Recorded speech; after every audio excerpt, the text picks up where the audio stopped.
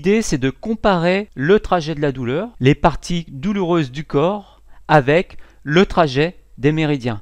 Le méridien, c'est pas seulement une ligne énergétique, une mince bande d'énergie qui traverse certaines parties du corps, mais euh, dans sa partie, y a une, vous avez une partie musculaire du méridien, vous avez le, côté énergétique et euh, l'autre versant, c'est sa projection dans le corps physique, hein, dans le muscle, le côté yin plutôt subtil et yang enfin c'est l'inverse, yin, qui représente eh bien, euh, les muscles, les tendons.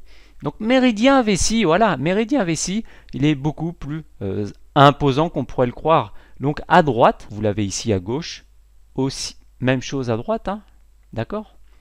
Il est des deux côtés.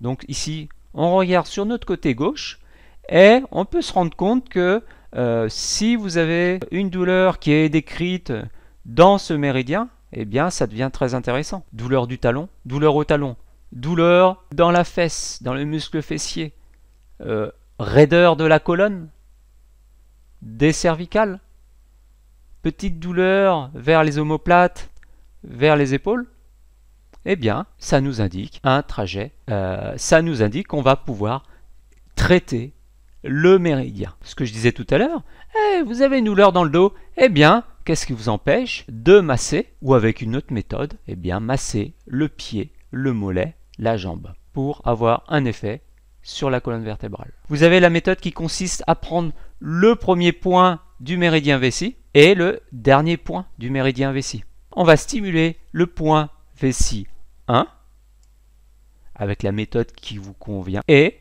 vessie 67, point initial et le point terminal de ce méridien. Méridien de la vésicule biliaire. Ah, vous regardez ce trajet. On passe sur la malléole externe, sur le dessus du pied, sur l'extérieur de la cuisse. Ouais, ouais, ouais, ouais, ouais, il y a des choses intéressantes. Dans le muscle fessier, une fois de plus, je vous ai dit d'aller chercher là-dedans hein, un ou plusieurs points douloureux, mhm, le long des côtes, etc. Donc une douleur sur la hanche, eh bien ça ne vous empêche pas de... Pourquoi ne pas masser cette bande musculaire? C'est ça un méridien musculaire. Une bande musculaire, hein, à droite et à gauche, et d'utiliser, de stimuler le point initial, vessie, euh, non c'est vésicule biliaire 1, et le dernier, le dernier point. Euh, vésicule biliaire 44. Donner au patient des moxa adhésifs à appliquer sur le pied, hein, en bas, ce que je vous ai montré, sur le, point de la vésicule biliaire ou du méridien de la vessie, en fonction de la localisation de la douleur. Il peut très bien, une fois par jour, mettre un moxa, deux, euh, on va dire, sur le pied, on peut se permettre de mettre trois moxa adhésifs, et au niveau de la tête, c'est un petit peu plus délicat, sur le point euh, initial du méridien. Euh, là, mettre un moxa adhésif, c'est plus délicat, mais pourquoi ne pas se faire un automassage à droite et à gauche, près des yeux. Vous voyez? Acupression, automassage, c'est pas ce qu'il y a de plus difficile. Hein. Vous avez une douleur ressentie près de la colonne vertébrale, que ce soit dans le bas du dos, milieu du dos, haut du dos. Là, on peut utiliser des points proches. Traitement local, utiliser des points qui sont situés près de la douleur ressentie. Par exemple, j'ai mal, voilà, la personne dit, ben, j'ai là, j'ai mal là, près de la colonne vertébrale, ici là, c'est rouge. La douleur est ressentie ici. Là, on va choisir un point local, on va chercher à la palpation, on va palper, et dès que vous touchez un point douloureux, un point qui fait réagir, eh bien, on peut traiter ce point-là.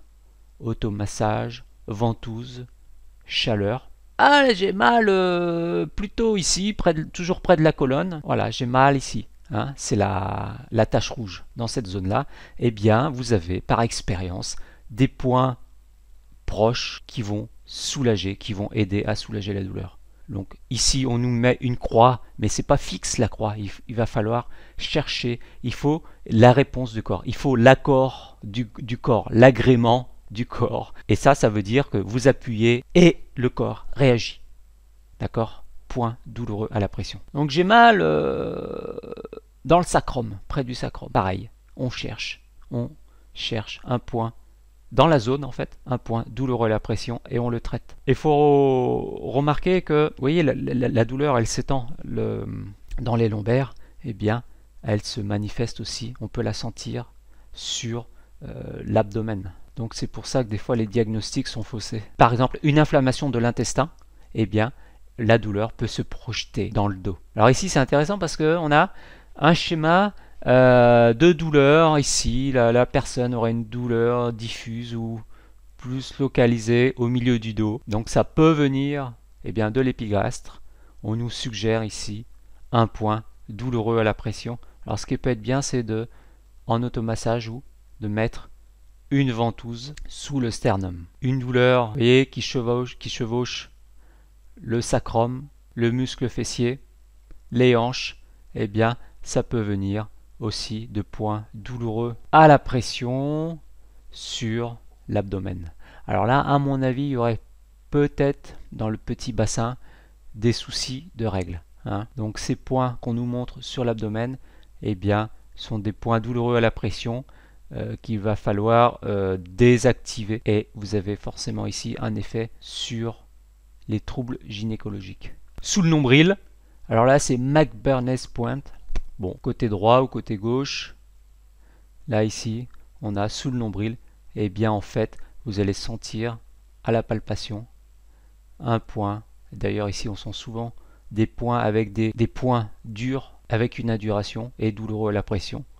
Et ça va soulager en fait cette zone. D'ailleurs, une douleur au niveau de l'abdomen, ça peut provenir d'une appendicite. Une douleur ressentie sous les omoplates, ça peut être un début de, malaise cardiaque. Donc vous voyez que ce système de projection des douleurs, c'est trompeur et c'est pour ça qu'il est difficile d'établir un bon diagnostic en médecine moderne.